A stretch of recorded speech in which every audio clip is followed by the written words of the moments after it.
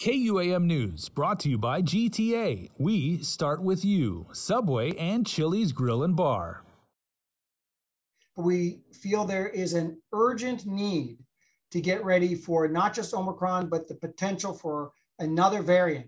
The Physicians Advisory Group met last evening, and after a thorough discussion, uh, there was a unanimous decision to make sure that we get out to the public the need the, the physician advisory groups feeling that there is an urgent need for Guam to get prepared for Omicron and whatever virus may come virus variant may come after that. He says that's because no one is sure what the complete impact will be.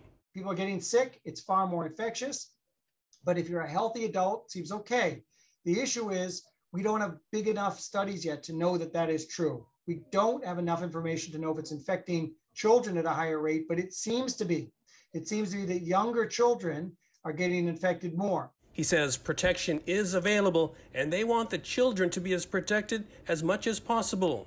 Right now, what we are feel from the Physicians Advisory Group is an urgent need for the Department of Education to make those in, uh, vaccinations available to every parent that wants their kids vaccinated. And there's a unifying place where that takes place, and that's at the schools. There is no plan at this point to revert back to greater restrictions. If we don't get the children vaccinated and the adults fully protected with that third dose, uh, we may be singing a different story soon. It's not that I'm saying, uh, oh, I'm so frightened of this. What I'm saying is we have an opportunity right now to get really well prepared. That opportunity goes away as soon as a new variant is here and is, is running crazy through the community, as did the Delta. You can't do it at that point. You then need to tighten up restrictions. If we get prepared, we can avoid that. For Guam's News Network, I'm Nestor Licanto.